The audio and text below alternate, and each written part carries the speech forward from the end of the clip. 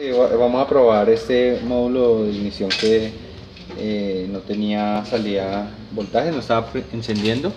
Eh, hacemos la conexión a 110. Vemos que el testigo ya, ya está encendiendo. Vamos a, revisar acá la conexión. lo que hicimos fue alimentar a 110 voltios. Tenemos este, el, jumper del, del, segundo puente rectificador que es importante dejarlo porque si no quema el fusible.